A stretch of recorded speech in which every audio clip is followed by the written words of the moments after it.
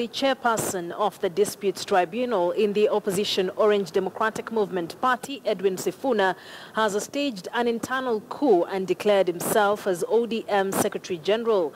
The move comes three days after embattled ODM Secretary General Ababu Namwamba and National Vice Chairperson Paul Otuoma accused party leader Raila Odinga and Chairperson John Mbadi of sidelining them in major decisions involving the party.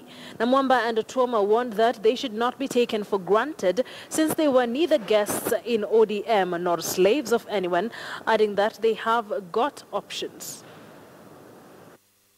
Any one of us who feels that uh, they have had enough with the Orange Democratic Movement and that they feel that uh, they have nothing more to give to the party, we are wishing them well. We know that uh, they have been our good friends and uh, it's sad that we have come to this particular point when we have to part ways but uh, we will trudge on because that is the nature of life. People come and go, but uh, the party and what it stands for and what it wants to achieve will remain forever.